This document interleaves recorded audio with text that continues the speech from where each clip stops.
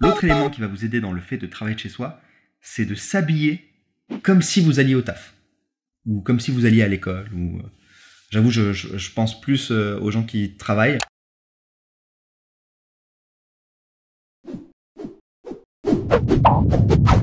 A few moments later. Et hop là, salut à tous.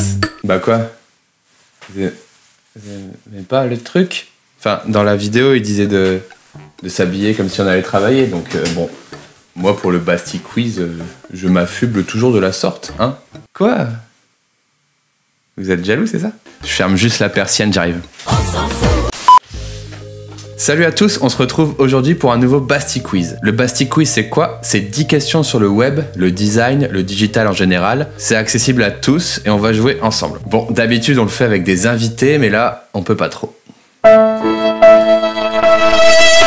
D'ailleurs, en parlant d'invités, c'est les invités de l'épisode 1 qui ont voulu se venger. Épisode 1 à regarder bien sûr ici si vous ne l'avez pas encore vu. Donc cette fois-ci, c'est eux qui ont préparé 10 questions et c'est nous ici qui allons devoir y répondre. D'ailleurs, merci Caro, Rémi, Félix et Nathan pour le questionnaire. Donc on va y aller ensemble, prenez de quoi noter. Il y a 10 questions, un point par question. Je vous laisserai au montage quelques secondes pour mettre pause et réfléchir un peu avant de répondre. Vous notez vos points et puis vous les mettez en commentaire à la fin de la vidéo. Et on verra qui est le meilleur à ce Basti Quiz numéro 2. J'ai mon petit iPad ici, hop, avec les questions. Je me suis pas spoilé encore, mais j'ai super hâte de commencer. Alors si vous êtes prêts, on y va. Générique du Basti Quiz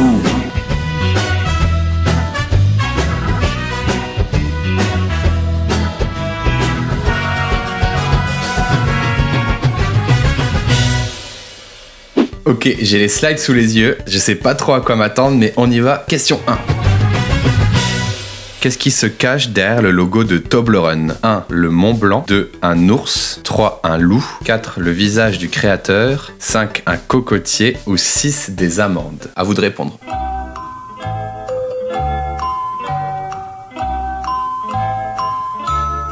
Alors moi je pense savoir, dans mes souvenirs, c'est justement une montagne. Donc on a une espèce de montagne à trois pics dans mes souvenirs. Et dedans on voit un ours, je pense. J'hésite avec le Mont Blanc, parce que justement c'est cette montagne qui me fait penser au Mont Blanc.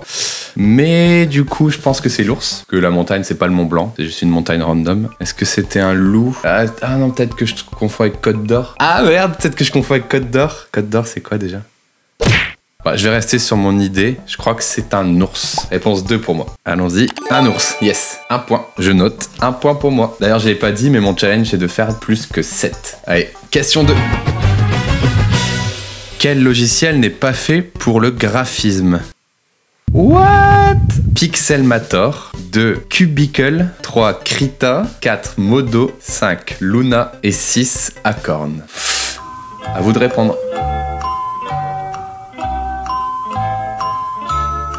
Alors moi, moi je pense que déjà Luna c'est un logiciel de design, de graphisme. Krita et Pixelmator, vu les icônes, bah je les mettrais en logiciel de graphisme. Ils ont des pinceaux dans leur euh, dans leur icône. Alors c'est peut-être ça le piège aussi. Cubicle, je le vois bien, un truc de 3D, je sais pas pourquoi. Modo, j'ai aucune idée de ce que c'est. Et Acorn, là, j'hésite entre Modo et Acorn. Modo, je me dis que c'est peut-être de la modélisation 3D. Hmm, je vais peut-être tomber dans le piège, mais je vais dire 6 à cornes. Allons-y. Ah C'était Luna. J'aimerais bien l'explication, s'il vous plaît, euh, les gens qui ont fait le quiz.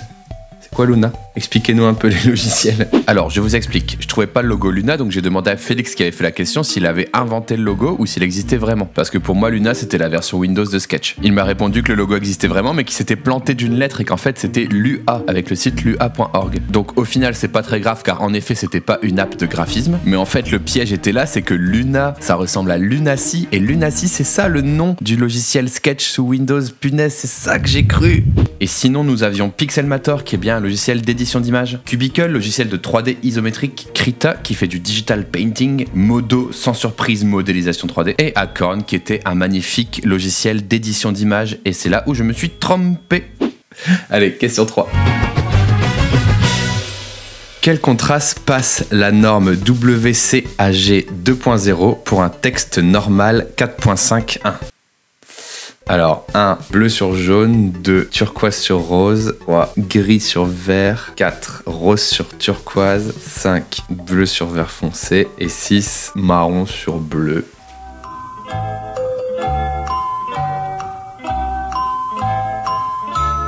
La norme de contraste, vous connaissez, c'est la norme qui dit si votre euh, texte et votre couleur sont accessibles. Donc c'est un truc euh, qu'on doit faire passer sur nos maquettes pour éviter que certains daltonismes ne puissent pas lire le texte. Alors là, au feeling déjà, j'élimine pas mal de choses. J'élimine le 2, le 3, le 5 et le 6. Pour moi, c'est mort. Et il nous reste le 1 et le 4. Et je dirais, je dirais le 1. Pourquoi je dirais le 1 Parce que le jaune, souvent, dans les contrastes forts, ça marche bien, quoi. Jaune et noir, je crois que c'est le contraste le plus fort qu'on puisse faire. Là, c'est jaune et bleu assez électrique, donc peut-être pas, mais quand même, le bleu et le jaune, c'est assez éloigné. Je vais tenter le 1. Hein? Quoi? What the fuck? C'était le 3 Ouais, je suis choqué, je le trouve pas très lisible. Et comme quoi, moyen de couleur, le contraste élevé. Je n'ai que 1 point sur 3, c'est mauvais signe. Et vous? Allez, question 4. Associe le picto à sa bonne terminologie. Ah oui. Alors, on a le bento menu, le doner kebab menu, le kebab menu et le meatball menu.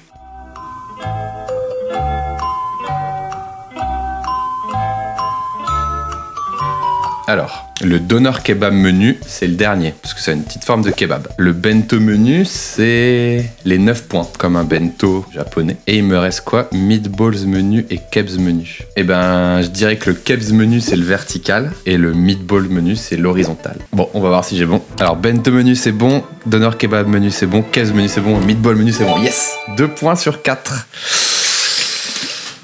C'est chaud. Alors ensuite, on continue. Question 5. Alors, on a tout des sauces là. De quoi est composée la sauce Hannibal? Quel est le rapport, messieurs là? Je parle euh, au créateur du, quiz. Quel est le rapport avec le design et le web? Ok, bref, on va répondre quand même. hein. Tout bon designer doit savoir connaître ses sauces. De quoi est composée la sauce Hannibal? 1 poivron ail tomate, 2 piment oignon tomate, 3 piment persil ail tomate, 4 poivrons sucre tomate, 5 salade tomate oignon, 6 tomate vinaigre sucre.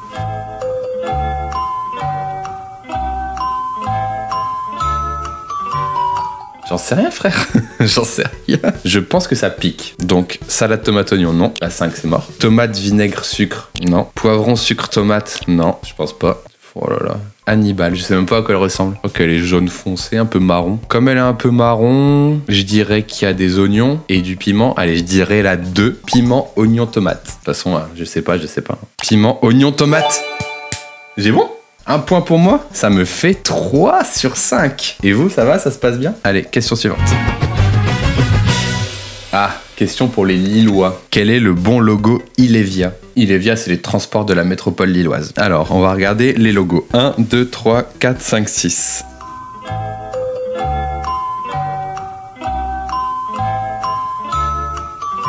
Suis souvent un feu rouge quand je pars du boulot. J'attends euh, le feu, qui est assez long. Et il y a une grande pancarte Ilevia. Et j'avoue, il y a 3-4 mois, je m'étais dit, ah, c'est possible qu'ils mettent cette question-là, ces petits filous. Et euh, je me souviens plus, mais je pense que je m'étais dit, Bastien, retiens que les deux i sont rouges, quoi. Déjà, la- le 1, c'est non. Parce qu'il y a un accent noir, c'est pas possible. Je pense qu'il y a du vert, donc le 2, c'est non. Le 3, je pense que les i, ils ont la même couleur de points, donc je dirais non. Le 4, peut-être. Le 5, peut-être. Et le 6, non. Du coup, je dirais le 4. Réponse 4. Allons-y. Ah, oui. Non, c'était le 5. Je me suis planté sur l'accent du E. Non, je suis si triste. Dur. Bon, question suivante. Question numéro 7. Test de créativité. Prends un trombone et imagine moins 20 utilisations possibles. Tu as 10 minutes. Quoi? Il faut le transformer pour montrer les utilisations. Tu peux le mixer avec d'autres objets.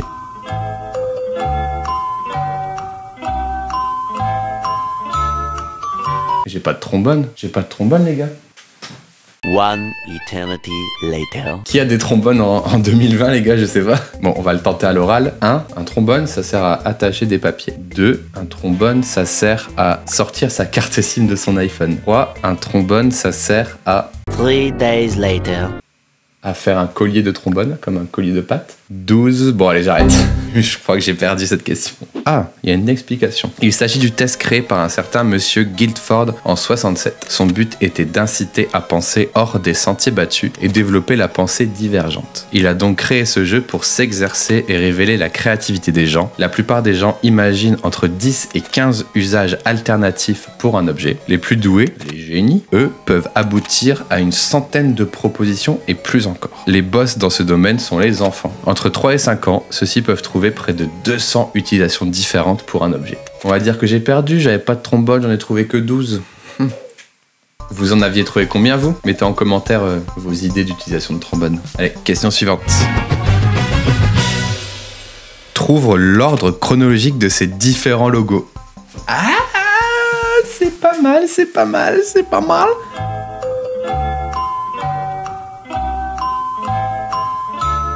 Alors, on a Photoshop en forme de livre qui était la suite Adobe genre CS5. On a la plume, c'était avant que ce soit acheté par Adobe. Vous voyez la logique. Ensuite, on a le 3, il y a un œil, mais il y a le petit A de Adobe. Donc, euh, je sais pas trop. Et le 4, ça c'est la suite euh, Creative Cloud de 2019 ou 2020. Le 5, ça doit être un truc entre les deux, euh, CS1 ou CS2. Et le 6, vu les pixels, ça m'a l'air d'être le premier. Alors, le truc c'est sûr, c'est je fais 6 et je termine par 5, 4, 1. Ce qui serait pas très sympa, c'est que la plume ce soit pas Photoshop quand même. hein. Ma théorie de racheter par Adobe, elle est peut-être un peu niquée parce que le 3 c'est le seul où il y ait le logo Adobe. Et en fait, ça veut rien dire parce que dans les nouveaux, il n'y a pas le logo Adobe. Je vais me laisser tenter par le style des logos et je vais faire un 6, 3, 2, 5, 1, 4.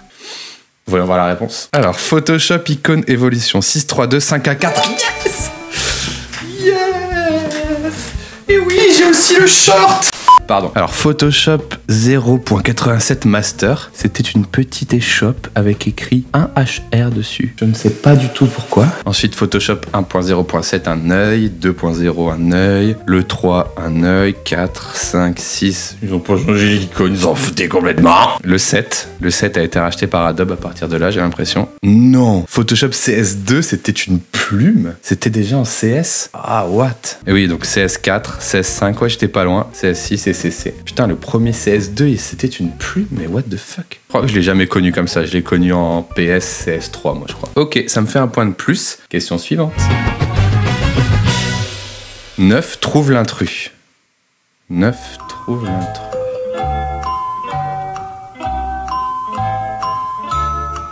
De ce que je connais, la première icône peut paraître dégueulasse, mais c'est l'icône de Handbrake, un logiciel pour convertir des fichiers vidéo très pratique que j'utilise, donc c'est pas celle-là. Quoique, à moins que l'intrus. Ouais, je sais pas. Est-ce que l'intrus c'est celui qui n'existe pas? Ou est-ce que l'intrus c'est celui qui fait pas la même euh, fonctionnalité? Parce qu'après le 2 c'est le logo de Sketch actuel, le 5 c'est le logo de Sketch au tout début, mais les autres je sais pas. Je vais appeler un ami. Parce que moi, mon Basti Quiz, je le fais tout seul, mais bon, euh, j'ai bien le droit d'avoir un peu d'aide. Alors, j'appelle Rémi. On va voir si il peut m'aider. Ouais, Rémi, je suis en, je suis en plein tournage face à la question 9. Puis je veux avoir une petite aide car mon score est assez faible pour l'instant. La 9 s'intitule Trouve l'intrus.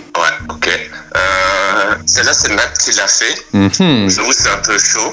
Ne m'aide pas trop, mais euh, c'est plus la consigne que j'aimerais approfondir, si tu vois ce que je veux dire. Bah sinon, je vais appeler Nathan, d'accord? L'auteur de la question. T'as kiffé ou pas? Je te dirai tout à l'heure. Tu verras la vidéo. Ouais, mais euh, tu vas pas la voir faire la vidéo tout de suite. eh oui. Est-ce que t'as un petit message à passer aux viewers là, en ce moment même, qui écoutent? Ça, je l'ai enregistré. Ah ouais, là t'es enregistré en, en flux tendu. Hein. Euh, bah, je voulais passer le message. euh, moi, j'ai hâte de la prochaine question. ça Voilà, mon message à passer, c'est vivement la question 10. Ok, ça marche. Merci. Bon, allez. Ciao. Bon après-midi. Merci. Ciao. On appelle Nat. Allô Oui, allô Nat. Je suis présentement en plein tournage face à la Ouais. question 9. Ouais, Les gens t'entendent dans le haut-parleur, pour info. très bien. Je viens d'appeler Rémi qui m'a dit Ouais, c'est Nathan qui l'a faite, je sais pas trop comment t'aider. Alors je me permets de téléphoner parce que, euh, comment dirais-je, j'ai un score assez faible pour l'instant. Je suis à la question 9. Et la consigne trouve l'intrus, elle est un peu vague pour moi et puis pour les abonnés aussi, je pense. hein. Et du coup, je voulais juste te demander est-ce que l'intrus, c'est genre l'image qui n'est pas une icône d'app ou est-ce que c'est l'app qui ne fait pas la même chose que les autres? C'est plutôt euh, genre, euh, il y en a une qui fait pas partie d'un groupe d'app. Ok. Et euh, normalement, avec euh, tes connaissances pointues dans la matière de Bastille UI, Ah, tu es censé euh, reconnaître un écosystème d'applications et une icône qui n'en fait pas partie. Ok, alors je pense que je l'ai, mais c'est juste que j'avais peur que la question ce soit genre une c'est un truc euh, un truc random et les autres c'est des applis, mais c'est toutes des applis et une est un truc. Et une, elle fait pas partie d'un groupe. Très bien, bah je te laisse travailler tranquillement. Est-ce que tu as un petit message à faire passer à, à la vidéo ici présentement? Eh bien, bonjour aux abonnés. Abonnez-vous, activez la cloche. Très intéressant, merci. Bah, merci beaucoup, à bientôt. Salut. Ciao, ciao. Grâce à ces indices euh, que j'ai grattés gratuitement, en fait, toutes les images sont des icônes d'appli, mais il y a une appli qui sert à autre chose. Donc là, je pense que je vais trouver parce que comme je venais de l'expliquer, la première avec l'ananas et le cocktail, c'est Handbrake, ça permet de convertir des vidéos. Le second, c'est Sketch. Le cinquième, c'est Sketch. Les deux gouttes, ça doit être des versions de Inkscape, je crois si je dis pas de conneries, mon logiciel de, de dessin, ou peut-être Paint.net, ou je ne sais pas, je dis de la merde. Oui. Et le, euh, la petite boîte avec le AA, c'est une icône d'appli pour faire des typos sûrement. Donc euh, je dirais réponse 1. La réponse 1. Et l'intrus, car ça ne représente pas l'icône d'une application produite par Bohemian Coding.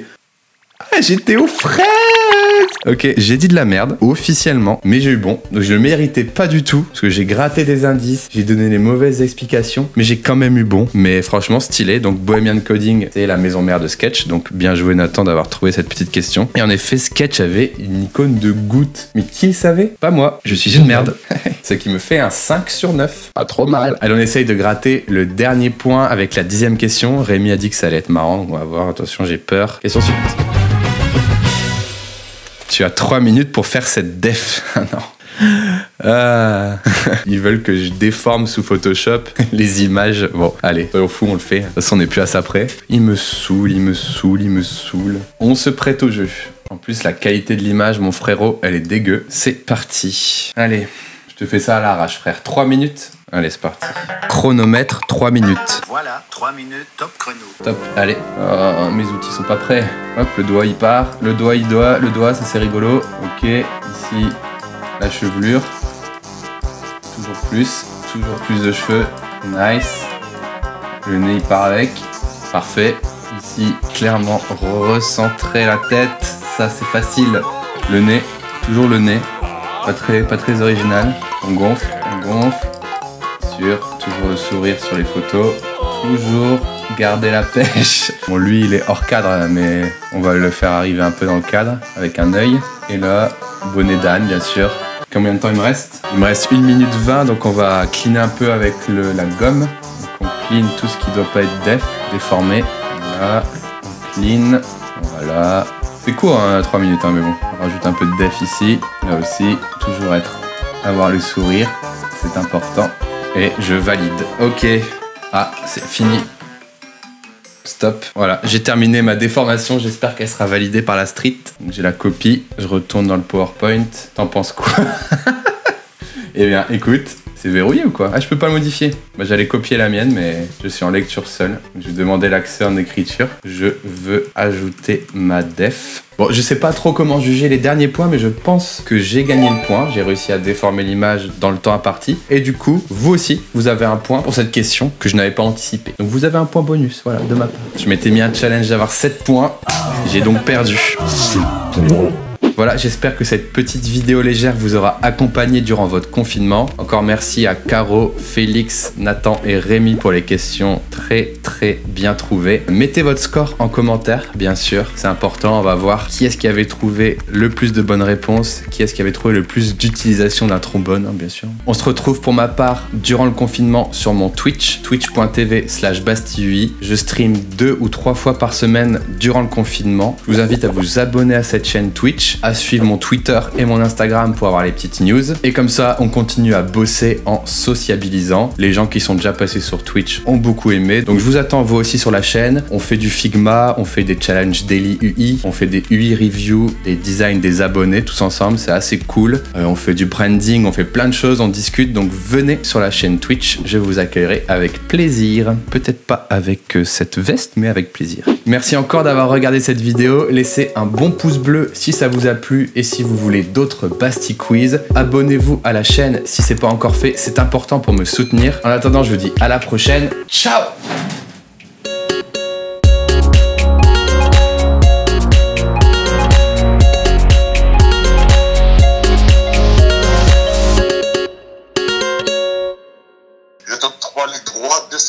Je fais pomme V.